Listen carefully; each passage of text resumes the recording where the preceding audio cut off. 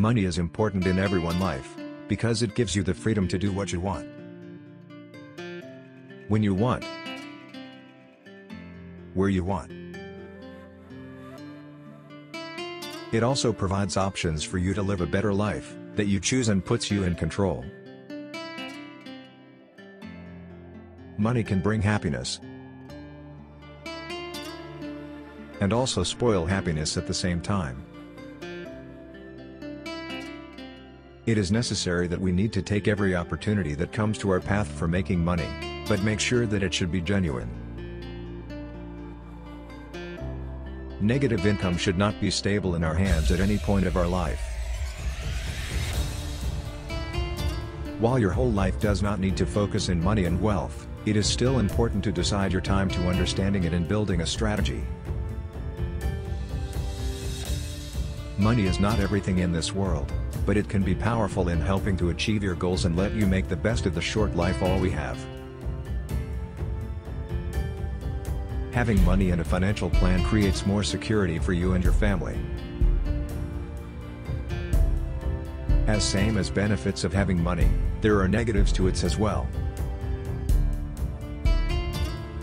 Focusing your energy on making money, saving and investing is important, but it's a careful balance to not let it consumes every decision that you make.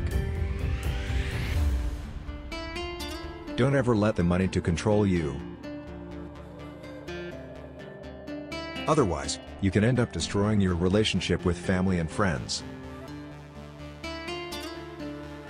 Life is short and goes by fast. Hoarding money and never experiencing anything is a waste. When you have energy, it creates opportunities for you to get more out of life. Travel the world. Try new things and get out of your shell of where you live.